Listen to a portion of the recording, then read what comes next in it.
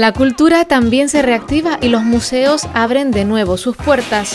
El Centro Atlántico de Arte Moderno ya está ofreciendo nuevas muestras, dos proyectos expositivos de escala internacional de un artista cubano y otro keniata alemán, y por otro lado, una muestra colectiva con una selección de obras. Es una enorme satisfacción para nosotros, desde el CAM, anunciarles la reapertura de nuestro centro. Una reapertura con todas las medidas de seguridad sanitaria necesarias para visitar tranquilamente y disfrutar de estas tres exposiciones. Montajes que se pueden visitar en unas instalaciones adaptadas a las nuevas normas sanitarias para ofrecer las máximas garantías de seguridad.